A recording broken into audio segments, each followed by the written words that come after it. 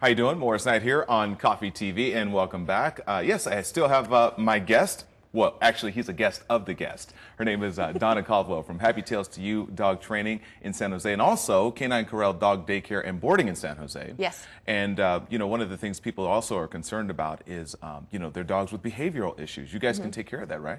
Sometimes, yeah, sometimes we can, and sometimes it's very successful, like the footage here. Now, these two guys are.